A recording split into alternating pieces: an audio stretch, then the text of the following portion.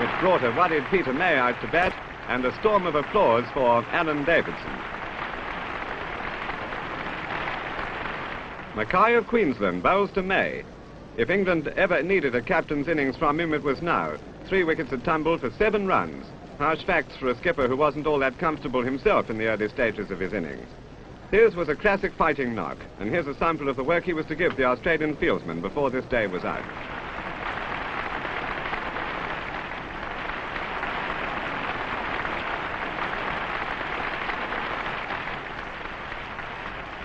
Slowly, very slowly, the score was mounting after a calamitous start.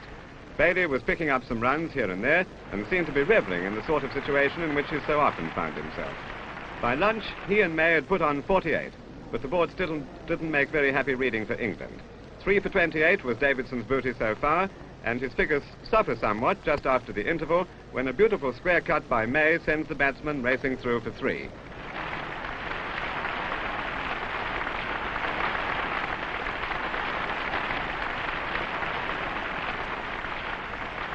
The temperature had now soared into the 80s, and the crowd to 50,000 as we find May awaiting a new over from his Australian opposite number. Captain takes a single off captain, a most grudgingly conceded single, and the score is creeping along. Both batsmen seem to be set for a big partnership, and Benaud found little response from the pitch to his spinners. He's about to come in for some punishment at the hands of Bailey, who really gets on to that one, and far out in the country, there's some work for Mackay.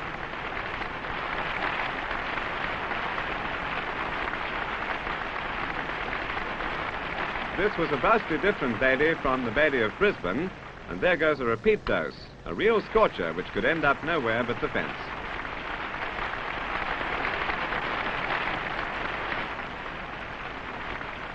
Benaud now has something to ponder. These two batsmen were making a bold bid to pull the game around. They've already added 72, which became 76 with a Bailey sweep to leg, and the only man who needed to do any running was Queensland's Ken Mackay.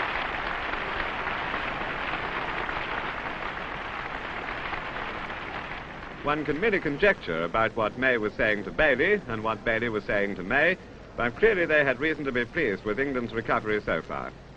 At this point, Benaud decided to call on Meckiff, the speedster whose bowling action caused quite a controversy this season. May apparently relishes his return to the attack and sends Kline away in vain pursuit.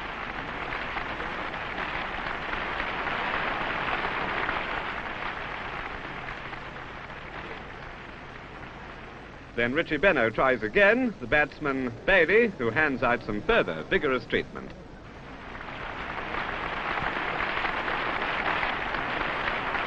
Melbourne enjoyed what it was seeing, liked the brand of strokes which May and his partner were turning on. Runs were now flowing steadily from both bats as England continued to recover from her early setbacks. So Meckiff to Bailey, and the Essex all-rounder goes on to within two of his half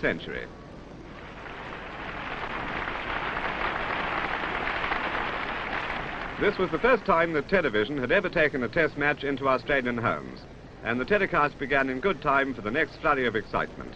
Here it comes now. Benaud holds the catch, and Bailey's fine innings is finished.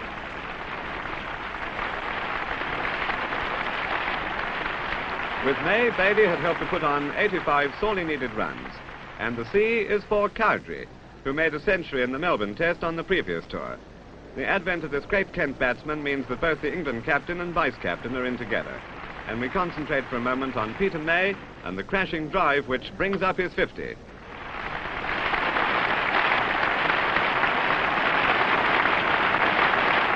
Runs are coming freely both from spinners and the pacemen. Peter May has seldom been in better touch and has an effective answer to everything that's bowled.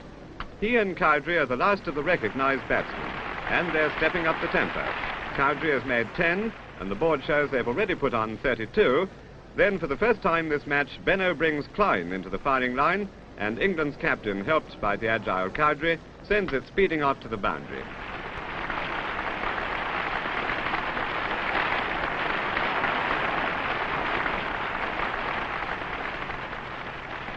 A tired but a pretty happy Peter May can take solace in the fact that since lunch, England has added 73 precious runs, and this single makes it 74 for the loss of only one wicket. Four for 129. England's position on this first day as they make ready to resume after the tea break. The Australian captain decides to persevere with his spinners, and May's reply is a May classic.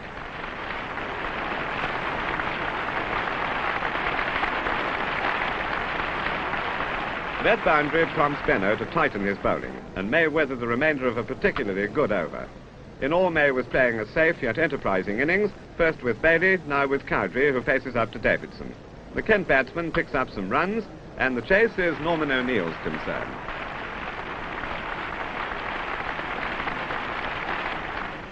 There's a zest to Cowdrey's batting which shows he's nearing the form expected of him.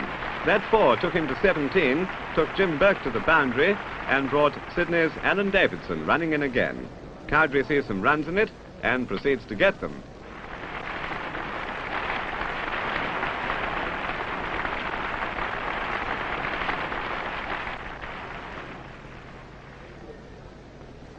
That made the May Cowdrey stand worth 52.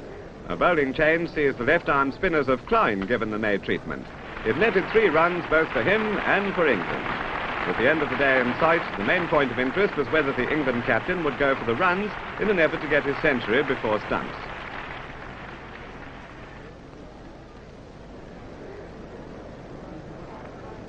Neither Kline nor Benaud got much response from the Melbourne wicket, which was said to be the best prepared there since the war. Both batsmen went back into their shells during the closing minutes of play. There was still some hoping for a breakthrough, but the day was ending on a fairly quiet note, with May still going along nicely, yet making no attempt to hurry on to his century.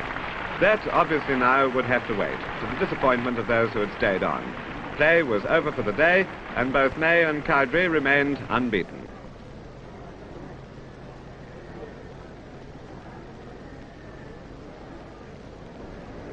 Alan Davidson's spell of inspired bowling was among the highlights of a day which ended with England well back into the picture, four for 173 at stumps on the first day.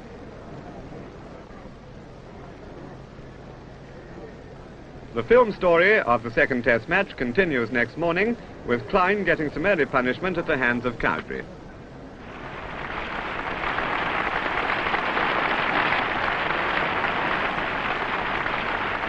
This day, New Year's Day 1959, saw Colin Cowdrey turning on his best performance of the tour so far. This was his second boundary from successive balls, and Melbourne was liking it. Kline's partner in spin, Benaud, could do little to curb them, and this single to May took the England captain to 98.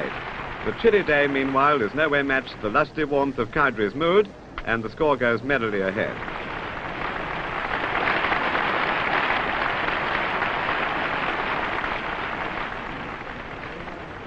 This was a moment of cricket history. The bowler is Kline, the batsman May.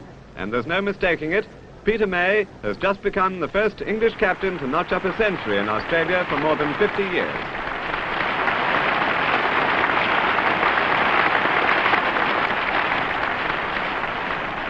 A comforting sight for England after such a disastrous start, and there seems no holding May now. Power and impeccable timing sent another ball racing after the fence. That takes the score past 200 and brings Ian Meckiff back into the attack, bowling with a new ball. But May is in splendid form and gets one away to square leg for a couple.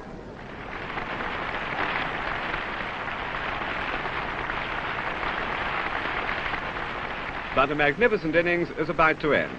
Meckiff bowls to May.